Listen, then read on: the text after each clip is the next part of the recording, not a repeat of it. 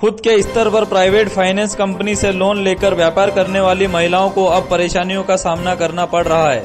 अर्जुन लाल सेठी नगर की रहने वाली महिलाओं ने मांगी मोहलत। माफ़ नहीं, छह महीने की मोहलत चाहिए।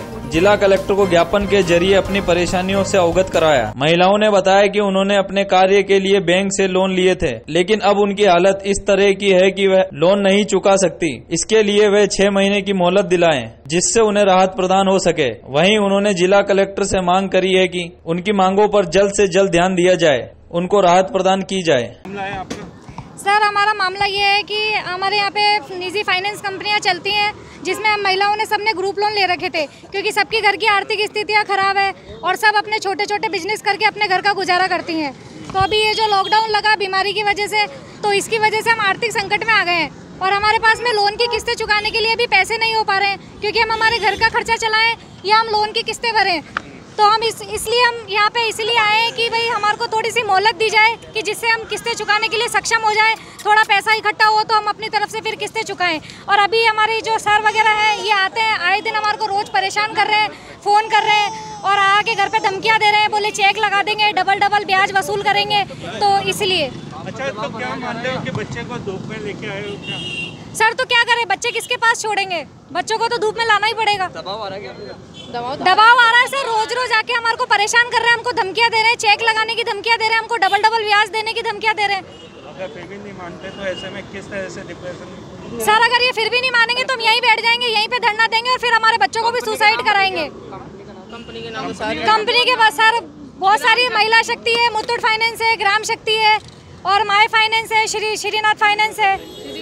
श्री क्रेडिट है उज्जीवन है। सारी कंपनी सर हमने थोड़ा जैसे जैसे हमारे को पच्चीस पच्चीस हज़ार के लोन मिलते हैं बीस बीस के मिलते हैं तो हमने तीन चार कंपनियों से लोन ले रखे हैं। मेरा नाम रीना।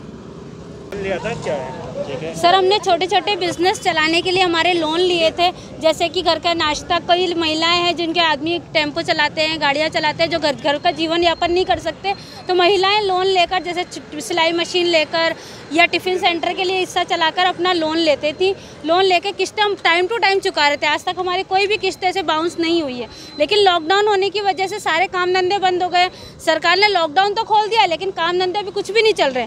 न टिफ़िन सेंटर से कोई खाना मंगा रहा है, न गाड़ी मोटर चल रही है।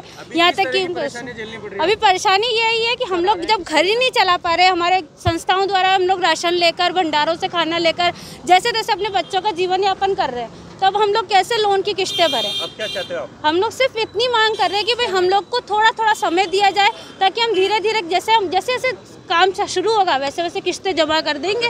फिर भी नहीं मानते तो क्या करा धरना देंगे हम तो धरना देंगे हम तो अपील कर सकते हैं क्योंकि संस्थाओं के फाइनेंस कंपनियों के हम आभारी हैं कि उन्होंने हमें वक्त पे पैसा दिया था।